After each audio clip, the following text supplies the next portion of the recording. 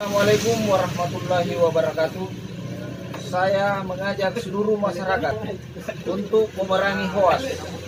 Mari kita bersama-sama menolak berita bohong. Assalamualaikum warahmatullahi wabarakatuh.